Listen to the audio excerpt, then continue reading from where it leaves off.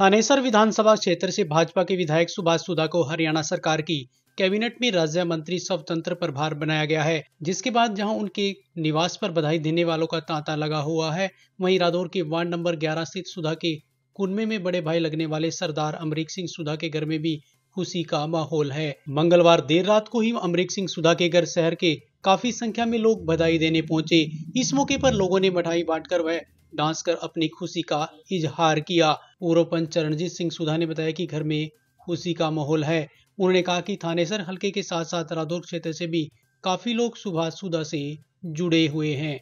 पंजाबी बरादरी के कर्मठ नेता को और थानेसर विधायक जी को सुभाष सुधा जी को मंत्रिमंडल में शामिल करने पर भाजपा हाईकमान का पंजाबी बरादरी की तरफ़ से धन्यवाद। बहुत बहुत खुशी का माहौल है। जैसे ही हमें पता चल रहा था सुबह से ही लोग बधाई देने के लिए घर पे पहुँच रहे थे पर जब तक मीडिया में और शपथ ग्रहण में बिल्कुल फाइनल नहीं हो गया तब तक हमें रहा कि एक बार फाइनल हो जाए फिर हम सब सब अपनी बड़े सभी साथियों का आशीर्वाद लेंगे और सभी का मुँह मीठा कर। हर बरादरी से सुभाष सुधा के चाहमान लोग उनके साथ बहुत ज़्यादा रादौर हल्के से भी सुभाष सुधा जी के साथ बहुत ज़्यादा लोग जुड़े हुए हैं। वहीं अमरीक सिंह ने कहा कि वह इसके लिए पूरे भाजपा हाईकमान के आभारी हैं। मेरे चाचा जी के लड़के हैं, रिश्ते में नहीं सगे चाचा जी के लड़के हैं।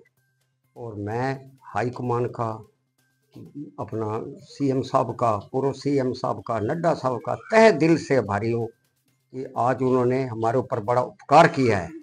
जो, और मैं निश्चय से कहता हूँ कि इस एरिए का बहुत विकास करेंगे। रादौर का भी बहुत विकास होएगा।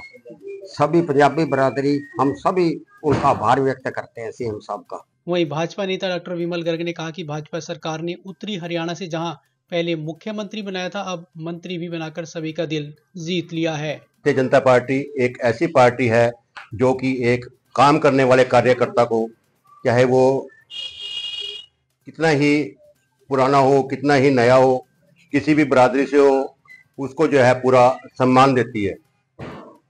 तो आज सुभाष सुधा जी का को मंत्रिमंडल की में मंत्री पद की शपथ दिलाई गई। इससे हमारे रदौर में बहुत ही खुशी की लहर है, क्योंकि सुभाष सुधा जी के परिवार के ही लोग हमारे रदौर में, हमारे बीच में रहते हैं, जो, जिनके साथ हमारे पारिवारिक ताल्लुकात है। तो हमारे लिए बहुत खुशी ही की बात है कि हमारे ही परिवार का एक आदमी जो है आज हरियाणा कैबिनेट में मंत्री बना है। थानेसर के विधायक सुभाष सुधा हरियाणा के मंत्रिमंडल में पंजाबी चेहरे के रूप में उभर कर सामने आए हैं। ऐसे में वह इन लोकसभा चुनाव में एक बड़े पंजाबी नेता के रूप में प्रदेश सरकार का प्रचार प्रसार भी कर सकते हैं। Bureau report, Navdesh Times.